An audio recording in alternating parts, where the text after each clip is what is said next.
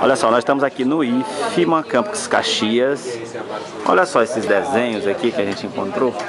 Estamos numa exposição, é, é um festival artístico. Aqui é o Felipe. E ele é o que faz esses desenhos, né? Bem realistas, assim. Olha só. Muito bom o material dele. Aqui são algumas. Olha só. São mesmo desenhos muito bons assim. De alta, muita qualidade, muito detalhe. Olha só esse. Esse. Até esse gatinho aqui foi, foi você que fez isso aí? Aí já que já é ele. Aí. Esse aqui foi todo, todo seu, né, Felipe? Não, Felipe. É, bastante Lá na sala. Olha só. Olha só a Alcione aí. Papa Francisco. E outros, né? Vou falar aqui com o João Felipe. João Felipe, é você de qual unidade de ensino? Você é do Azevedo. Do Aloysio Azevedo. Azevedo. Estudando do Aloysio Azevedo, terceiro ano, é isso? Primeiro, Primeiro ano. ano. E como é que surgiu esse interesse pela, pelo desenho aí? Surgiu já tem muito tempo já, o desenho desde os 6 anos de idade. Desde os 6 anos, né? 3, 3 anos de idade.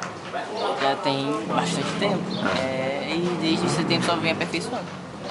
Pretende lançar algum trabalho, algum livro de desenho, alguma... Um dia pretende. É, né? Mas você falou, me falou também que está criando também algumas histórias, né? De história em quadrinho. Talvez o livro seja de história em quadrinho, né? É, exato. Quer dizer, você, eu queria que você mostrasse um dos desenhos que você acabou de fazer aí. Aquele é, lá. Aquele eu já.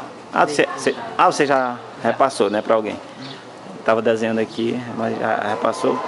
Queria que você destacasse a importância desse evento aqui que o IFMA está promovendo e ajuda a mostrar o trabalho, né? Certamente ajuda a mostrar bastante trabalho.